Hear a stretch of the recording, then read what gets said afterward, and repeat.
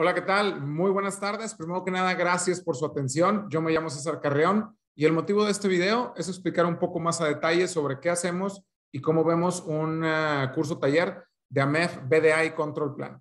Primero que nada, es importante hacer la aclaración que este curso está basado en la última versión de AMEF BDA. Entonces, nosotros lo que vamos a encontrar aquí son tanto los eh, cambios que ha habido, como también vamos a hacer dinámicas, como también vamos a analizar ejemplos y vamos a poder ver a detalle cómo es que esta información nos puede ayudar para mejorar procesos. Todo esto tiene evaluaciones iniciales, tiene evaluaciones finales, vemos también contenido multimedia, vemos exactamente qué es lo que incluye y qué es lo que no incluye la MEF-BDA, así como también cuál es la relación que tiene el nuevo MEF-BDA con el resto de las Core Tools. Entonces empezamos a platicar un poco sobre diseño de manufactura. Te platico cuándo tienes que revisar una MEF de procesos, cómo tendría que ser el equipo que va a realizar la MEF de proceso, cuáles son los roles de cada uno de ellos y empezamos a platicar incluso sobre las tres preguntas para diseño de manufactura que nos van a ayudar para poder entender después de esto, ahora sí, el método de los siete pasos. Vamos a ver con ejemplos, de hecho te voy a presentar ejemplos reales de la industria, donde vamos a poder ver aquí cómo es que cada uno de estos pasos nos ayudan a mejorar mis procesos. Y hay que entender que esto nos eh, sirve para poder optimizar mi diseño de manufactura.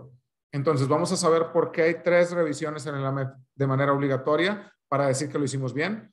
Vamos a poder conocer las tablas de severidad, las tablas de ocurrencia, las tablas de detección. Vamos a poder calificar lo que estamos haciendo como diseño de manufactura, entender bien cómo sacar los APES, que son las acciones prioritarias, para saber cuándo sí y cuándo no hacer una acción correctiva.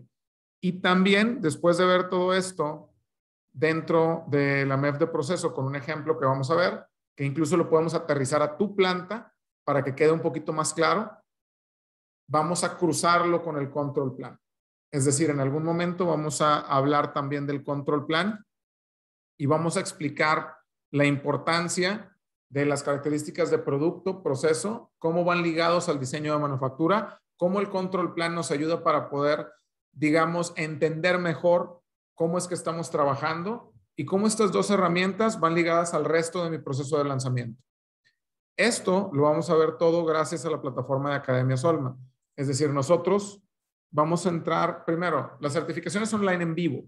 Es decir, tú vas a tener la oportunidad de interactuar conmigo, de hacer preguntas y para asegurar que esto quede mejor y que quede bien claro, vas a tener acceso a la plataforma de Academia Solma. En Academia Solma vamos a subir tareas, vamos a ver las grabaciones y vamos a responder evaluaciones, donde nosotros vamos a poder saber que también, que si hay dudas, que si podemos aprender algo más, que si hay algo que no quedó claro. Entonces, la plataforma de Academia Solma me permite ver las grabaciones durante un año completito y me va a ayudar para poder entender bien cómo es eh, que, esta que este curso taller nos lleva a mejorar nuestros resultados en cuanto a diseño de manufactura.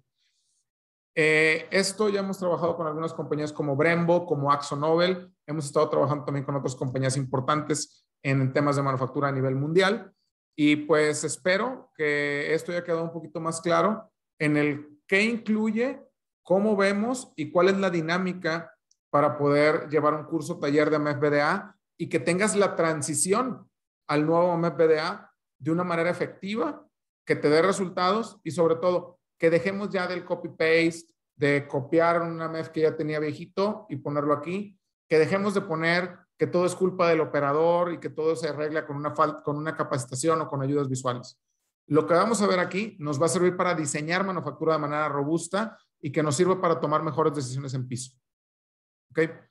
Bueno, pues yo me llamo César Carreón, te agradezco mucho tu tiempo y que hayas visto este video. Y esto fue un poquito de qué es lo que vemos cuando programamos un curso taller de AMEF BDA y Control Plan. Gracias y hasta la próxima. tengas buen día. Bye bye.